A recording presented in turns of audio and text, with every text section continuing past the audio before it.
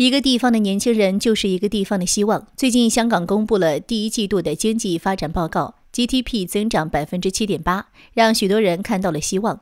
香港过去十年经济发展确实太慢，目前在经济总量上已经不如深圳了。现在香港经济结构太单一，严重依赖于金融跟贸易，在科技创新上严重不足。香港经济要找回当年的辉煌，必须依靠香港的年轻人。幸运的是，我们看到了香港目前有一批优秀的年轻人，其中最有前途的年轻人，应该就是何鸿燊的儿子何猷龙跟霍英东的孙子霍启刚了。何猷龙无疑是香港未来的商界领袖，在很多人眼中，何猷龙的能力可能不如郑裕彤的孙子郑志刚。不过，何猷龙如今的成就，九成是靠自己努力来的，只有一成是靠了父亲何鸿燊。郑志刚的成功，则是五成靠自己，五成靠爷爷郑裕彤。所以从这一点上说，何猷龙的能力其实还在郑志刚之上。至于刘明伟的话，虽然能力不错，但是他必须先证明自己。刘明伟至今还没有自己的势力，何猷龙确实被大大低估了。他出生于一九七七年，五岁就跟着母亲去了加拿大生活，直到大学毕业才回到香港。正是因为如此，所以何猷龙性格非常低调。他从来不觉得自己是何鸿燊的儿子有多了不起，在异国他乡孤单的日子，练就了他的耐心和独立。何猷龙如今是身家两百亿的博彩大亨，他控制的新濠国际是澳门第四大的博彩公司，而且发展势头非常不错。何猷龙投资的六十亿建设的摩帕斯酒店，更是被誉为经典之作。何猷龙回到香港之后，先是在证券公司当实习生。当时何猷龙整天是在给别人端茶倒水，非常低调。看到儿子如此努力，何鸿燊也有意考考何猷龙的能力，于是他就自己名下的一家亏损餐厅交给了何猷龙。这家餐厅是珍宝海鲜餐厅。看到周星驰电影《食神》的，应该就有印象。何猷龙当时接手的时候，这家餐厅还非常小，而且一直在亏损。何猷龙用了四个月去尝试新菜。帮餐厅推出了非常多的菜式，获得了巨大的成功。经过了何猷龙的努力，珍宝餐厅成为了香港的海鲜王国，成为了许多人童年的回忆。二零零一年，澳门博彩业改革之后，何猷龙在澳门投资了不少的饺子机，还把这些机器放到了澳门很多商场、酒店、便利店，让游客随处可以玩，获得了巨大的成功，赚到了不少钱。之后，何猷龙更是冒险联手了澳大利亚的财团，拿出了九亿美元收购了永利手上的赌牌，并且入驻了新濠国际公司。几年之后，新濠国际还成功上市了，何猷龙一跃成为百亿富豪。新豪国际巅峰的时候，一年可以赚到几十亿的利润。最近几年发展也非常稳健，其实已经超越了何鸿燊的奥博了。何猷龙今年才四十四岁而已，其实他人生的巅峰还没到。估计再给何猷龙二十年的时间，他肯定可以成为香港首富的。霍启刚跟何猷龙其实关系也是非常深厚。霍启刚的爷爷霍英东跟何猷龙的父亲何鸿燊是好朋友，两个人一起开创了澳门博彩业。同时，霍启刚的父亲霍震霆跟何猷龙的姐姐何超英曾是青梅竹马。霍启刚的弟弟霍启山跟何猷龙的妹妹何超莲则曾经有一段情。霍启刚是霍英东的嫡长孙，从小就是被家族寄予厚望。最近，霍启刚的妻子郭晶晶罕见参加了香港妇联的一个活动，跟众多名媛在一起，引起了巨大的关注。霍启刚宣布从政之后，郭晶晶估计会开始增加自己的社交时间，为霍启刚积攒人脉跟力量，拉拢更多的名媛贵妇支持霍启刚。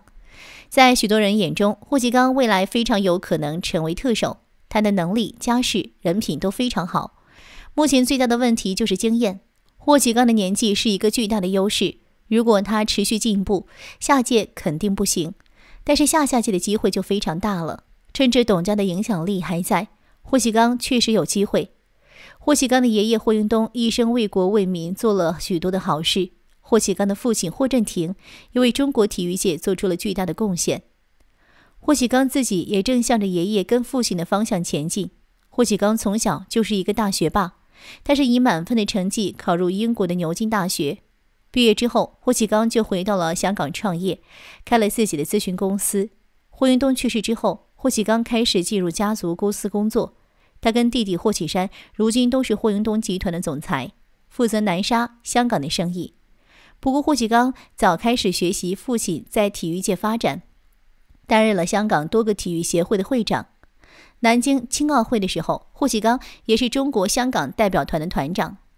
霍启刚在体育界工作，其实早就是为了进入政界做准备了。为了进入政界发展，霍启刚也选择了郭晶晶这样一个女孩子当妻子，这一点非常重要。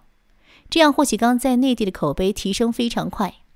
霍启刚夫妻确实是非常低调，这几年非常圈粉，从上到下的口碑非常好，很多人也支持霍启刚从政，从民间到高层都有这样的意思。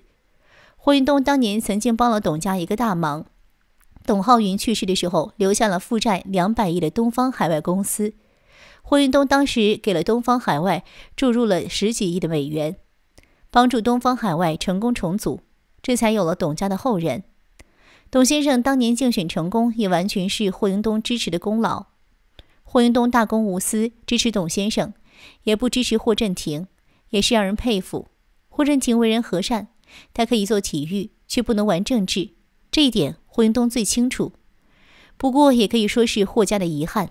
希望霍启刚可以努力弥补这个遗憾。如果霍启刚有机会成功竞选，希望在他的努力下，可以有一个完全不一样的局面。接下来的内容更精彩。香港最幸运的女婿，岳父把千亿产业留给他，他每年收租一百二十亿。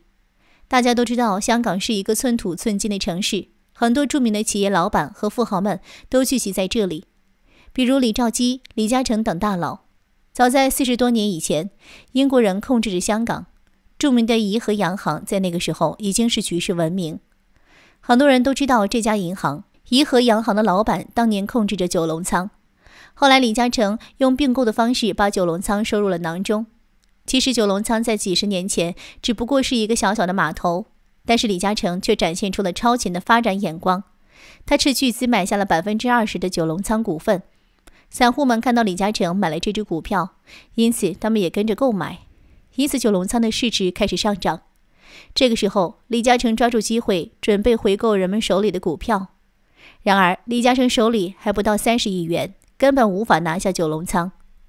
就在这个时候。世界船王包玉刚出现了，当时他的资产达到了三百亿，而且李嘉诚还管他叫大哥，因此李嘉诚就主动找到包玉刚，希望他能够帮助自己拿下九龙仓的控制权。其实包玉刚早就看上了九龙仓，短短两个月的时间，他就将百分之三十的九龙仓股份占为己有，一举成为公司的第一大股东。